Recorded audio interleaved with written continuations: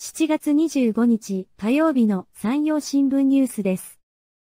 夏の高校野球岡山大会最終日は25日倉敷市のマスカットスタジアムで決勝戦が行われ岡山山陽が4対2で倉敷商業を下し6年ぶり2度目の夏の甲子園出場を決めました。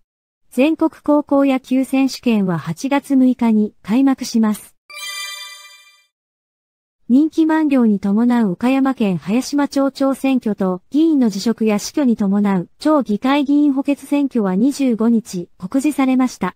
町長選挙は参戦を目指す現職の中川正夫さん68歳、新人で前の町議会議員だった佐藤博文さん63歳がいずれも無所属で立候補しました。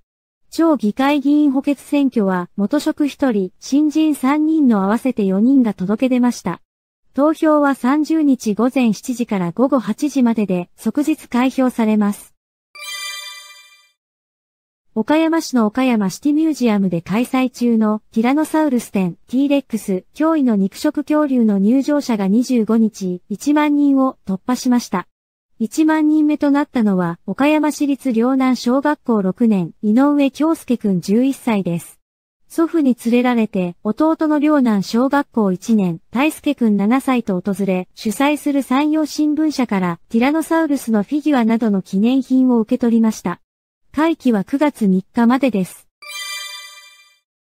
続いて、天気予報です。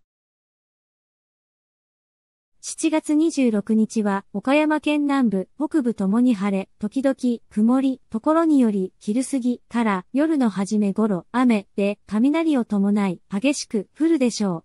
う。岡山県南部の最低気温は25度、最高気温は35度でしょう。岡山県北部の最低気温は23度、最高気温は34度でしょう。降水確率は岡山県南部午前10%、午後30%、岡山県北部午前10%、午後40%でしょう。